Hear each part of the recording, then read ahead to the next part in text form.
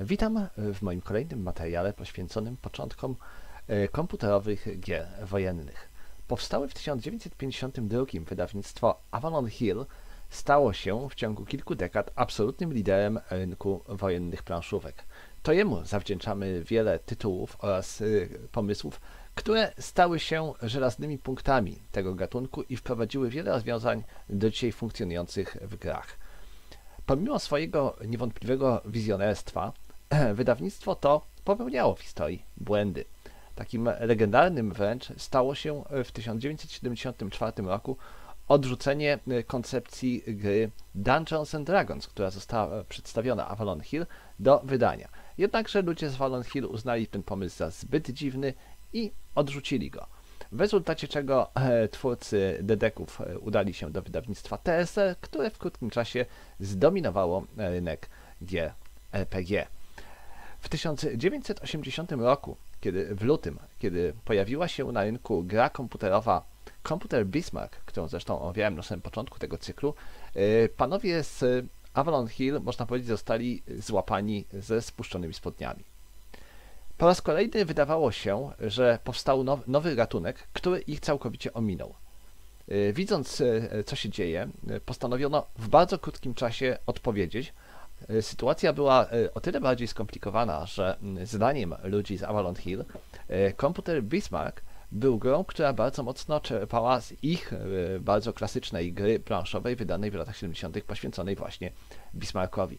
Postanowiono odpowiedzieć pięknym za nadobne i stworzyć grę, która również poświęcona będzie Bismarckowi, ale będzie nie tylko własną grą, ale i pełnoprawną odpowiedzią na wydany w lutym 1980 roku tytuł.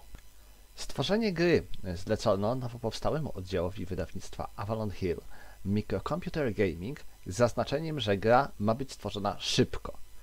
Y, gra powstawała na komputerze Atari, chociaż co ciekawe, została wydana początkowo na trzy inne komputery. Y, Commodore PET, Apple II oraz komputer TS-80 wydawnictwa czy firmy Tandy.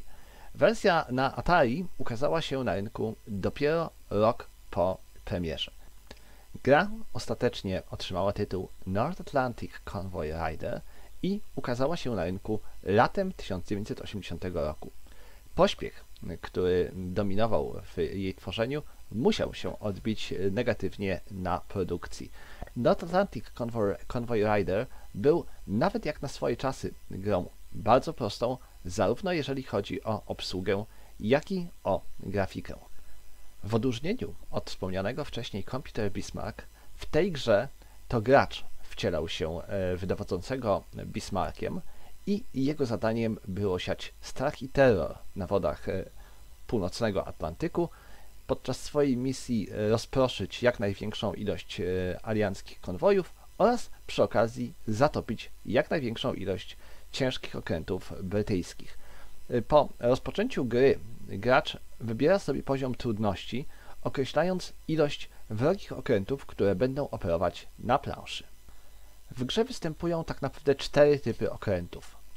Y, klasyczne pancerniki, y, krążowniki liniowe, reprezentowane praktycznie wyłącznie przez chuda, szybkie pancerniki oraz lotniskowce. Klasycznych krążowników, e, takich jak choćby towarzyszący Bismarckowi Prince Eugen, w ogóle nie uwzględniono w grze. Dodatkowo e, pojawia się lotnictwo i uboty, które jednak pełnią wyłącznie rolę e, rozpoznania. Dodatkowo na planszy operują konwoje, które operują w postaci pojedynczych jednostek, a których polowanie jest jednym z celów naszej misji jako gracza. Po rozpoczęciu gry zaczynamy w prawym górnym rogu w porcie w Bergen, gdzie stacjonuje Bismarck. Gracz obejmuje nad nim kontrolę, przy czym kontrola to wielkie słowo, ponieważ w praktyce wpływamy na to, w którym kierunku płynie Bismarck, wydając mu komendy określające kierunek marszu. Kiedy nasz Bismarck płynie, otrzymujemy na bieżąco informacje o tym, czy gdzieś coś zostało wykryte. Y, dodatkowo na dole widzimy informacje takie jak y, pogoda, prędkość naszego okrętu, ilość dostępnych y, dział oraz, bardzo ważne, poziom uszkodzeń oraz poziom paliwa. Płynąc, otrzymujemy wiadomości od sojuszniczych ubotów lub od wywiadu na temat wrogich konwojów lub wrogich okrętów. Naszym zadaniem jest, jak nie trudno zgadnąć, wykonać skuteczny rejs, który zakończy się zatopieniem jednego lub więcej wrogich okrętów wojennych oraz zaatakowaniem konwojów. Przy czym w momencie, kiedy wpłyniemy na pole, na którym znajduje się konwój, to nie zaczynamy po kolei bawić się w topienie poszczególnych transportowców, ale dotrzymujemy informację, że konwój został skutecznie rozproszony i resztą zajmą się uboty. Kiedy wykryjemy wrogi okręt, to na planszy pojawia się literka symbolizująca tenże okręt. Tutaj e, czasami warto skorzystać z instrukcji, która notabene jest bardzo króciutka, choćby po to, aby y, wiedzieć, która literka oznacza co, bo czasami jest to proste. Jeżeli widzimy H, to wiadomo, że to będzie hood, zwłaszcza, że gra nas o tym informuje. Jeżeli widzimy P, to wiadomo, że to będzie Prince of Wales, ale jeżeli widzimy R, to już niekoniecznie możemy mieć pewność, że będzie to Rodney czy Repulse. Oczywiście my to y, dowiadujemy się później z informacji w trakcie rozgrywki, ale ta, y, ta wiadomość o tym, jaki skrót ma y, jaki okręt, jest przydatna nam później. W momencie, kiedy okręty znajdą się na tym samym polu, rozpoczyna się walka. Ogólnie rzecz biorąc, z mojego doświadczenia wynika, że Bismarck ma przewagę nad zdecydowaną większością brytyjskich okrętów w starciu 1 do 1.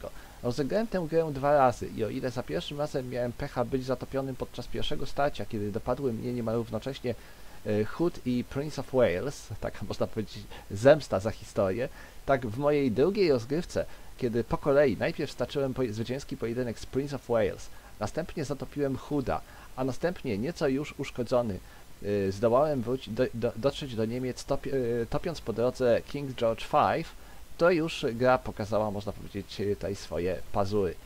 Yy, także taktyka w tej grze jest dość prosta. Kiedy napotykamy wrogi okręt, to do, e, dostajemy zapytanie, czy chcemy ostrzać tenże okręt. Jeżeli, e, e, jeżeli go chcemy ostrzać, to automatycznie wejdziemy w nim starcie, co oznacza, że wrogi okręt będzie także strzelał do nas.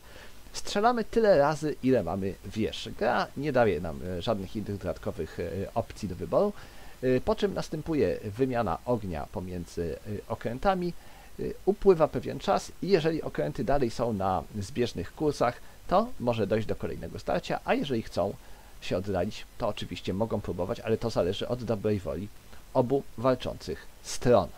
Y, generalnie, dowodząc Bismarckiem, chcemy angażować się wyłącznie w krótkie, szybkie starcia i możliwie szybko oddalać się z nich, tak żeby nie doszło do sytuacji, w której kilka brytyjskich okrętów dopadnie nas na bliską odległość, bo wtedy możemy y, jedynie wzywać y, Wotana na pomoc, gdyż raczej takie starcie przegramy. Rozgrywka w North Atlantic Convoy Rider nie jest zbyt długa. Waha się y, od 5 do 15, myślę nie więcej niż 15, góra 20 minut. Y, dodatkowo jest ona, powiedziałbym, całkiem dynamiczna i pod pewnymi względami można ją nawet nazwać y, nieco ekscytującą, aczkolwiek jest dość monotonna. W grze praktycznie nie ma grafiki. To też e, trzeba zaznaczyć, ponieważ wszystko ujęte jest w postaci tekstowej, tak jak tutaj e, widzicie. Gra nie oferuje nam ani różnych scenariuszy, ani jakichś szczególnych opcji alternatywnych. Gra nie została jakoś szczególnie ciepło przyjęta. Krytykowano bardzo prymitywną grafikę, a w zasadzie jej brak, śmiejąc się niekiedy, że na planszy nie ma nawet zaznaczonej Wielkiej Brytanii, chociaż teoretycznie patrząc na to, jak prezentuje się skala, to jej kształt powinien jakoś wpływać na możliwości e, poruszania się okrętów. Dodatkowo gra była bardzo ograniczona, jeżeli chodzi o możliwości gracza. Tak naprawdę gracz e, dokonywał w grze całych dwóch wyborów. E, tego, gdzie Bismarck płynie oraz tego, do jakiego celu strzela. Wszystko inne było już zależne od komputera. W rezultacie czego gra dostała raczej słabe, niskie recenzje, i nie była nawet specjalnie często recenzowana w swoich czasach, a dodatkowo dostawało jej się za relatywnie wysoką cenę, porównując z tym, co było już dostępne na rynku. Nie trudno podsumować to w ten sposób, że swoją pierwszą rundę w starciu z założonym przez Joela Billingsa wydawnictwem Strategic Simulations Avalon Hill przegrało.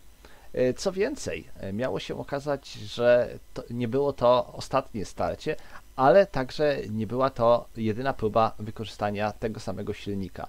Zresztą to było dość charakterystyczne, o ile e, Strategic Simulations po odniesieniu sukcesu przez e, e, Guadalcanal Campaign czy właśnie Computer Bismarck próbowało potem w kolejnych grach wykorzystywać ten silnik i nie odnosiło to specjalnego sukcesu, tak podobny sposób próbowało zrobić Avalon Hill, które próbowało później nieco dopracować silnik, który wykorzystano w North Atlantic Convoy Rider i zastosować go w innych tytułach. Ktoś mógłby spytać, po co w ogóle omawiam ten tytuł, skoro, jak powiedziałem, jest on króciutki, szybki i tak naprawdę nie jest jakimś tytułem szczególnie e, udanym. Uważam, że jednak jest to tytuł dość ważny. Po pierwsze, pokazuje on pewną tendencję, mianowicie, że w tysio- y, y, 1980 roku już tacy kluczowi gracze na rynku zaczynają dostrzegać rolę gier komputerowych i nie zamierzają odpuszczać. Po drugie, pokazuje on, jak bardzo w krótkim czasie chwytliwy staje się motyw Bismarcka w grach y, y, komputerowych i bynajmniej nie jest to koniec, ponieważ y, pojawią się w kolejnych latach następne tytuły poświęcone historii tego pancernika. Wreszcie, aż do drugiej połowy lat 90. y, Avalon Hill będzie cały czas próbować zdobyć pozycję na rynku komputerowych strategii i y, wyda bardzo wiele gier, z których jednakże nieliczne y, zapiszą się w historii, a większość skończy właśnie tak jak North Atlantic Convoy Rider, czyli ubogi krewny y, większych i dużo popularniejszych tytułów. Jest swoistą ironią, że dopiero wydana w 1997 roku gra Achtung Spitfire była pierwszym e, komputerowym e, e, te- strategicznym tytułem wydanym przez Avalon Hill, który odniósł faktycznie spory sukces na rynku. No ale to już zupełnie inna historia.